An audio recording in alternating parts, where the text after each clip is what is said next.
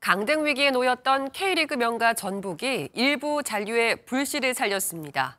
FC 서울이 프로축구 역사상 처음으로 누적 50만 관중을 돌파한 날 서울 유니폼을 입고 프로에 데뷔했던 박주영 선수는 현역 은퇴를 선언했습니다.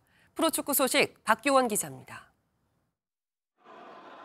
경기 시작 1시간 전부터 경기장에 팬들의 긴 줄이 늘어섰고 곳곳에 스타 플레이어 링가드와 기성용의 유니폼이 눈에 띕니다.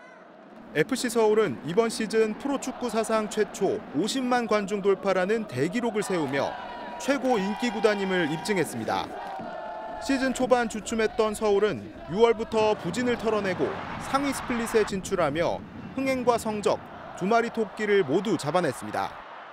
되게 자부심 느끼고 있고 링가드 같은 유명 선수들도 많이 있고 무엇보다 열정이 많이 뛰어나서 조금 제, 재밌게 볼 수 있었던 것 같습니다.